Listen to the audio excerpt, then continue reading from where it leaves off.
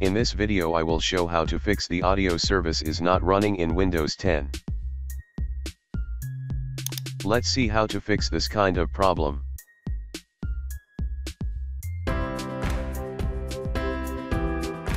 A trust and safety solution platform. In here, IT Magics. You have to just click on speaker icon. And it will be detected an audio problem will be fixed by itself. If this method does not work for your computer you can go the second method.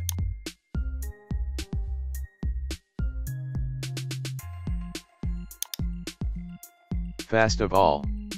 Just go to the start icon then right click on the mouse then go to the device manager.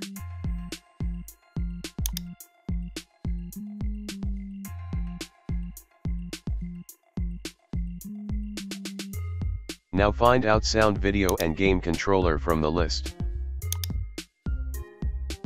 Now we have to update the Intel display audio driver. Just right click on the mouse and select update.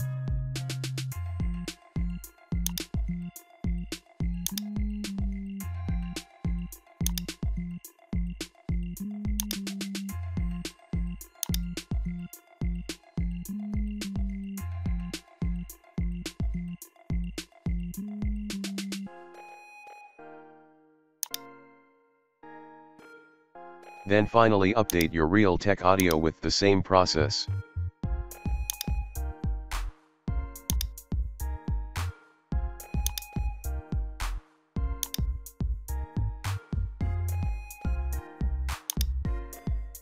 This time you have to restart your computer.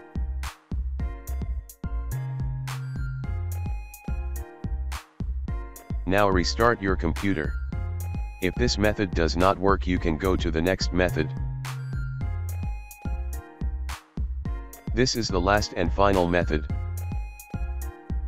Click on the Windows search bar then write Hair Services and go to the Service Apps.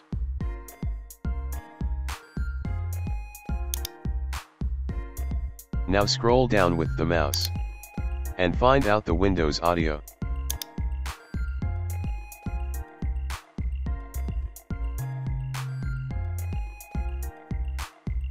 Now select the Windows Audio. And right click on the mouse then select to restart.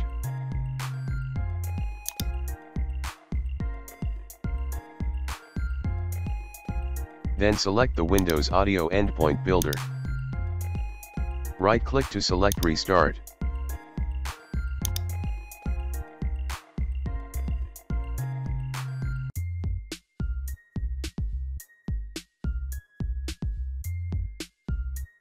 Now just scroll up the page and find out the plug and play.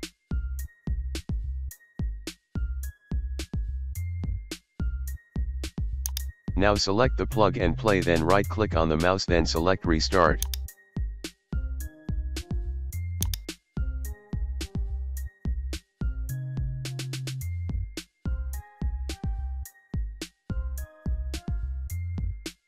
Everything is done now just start your computer. I hope after the restart your problem will be fixed.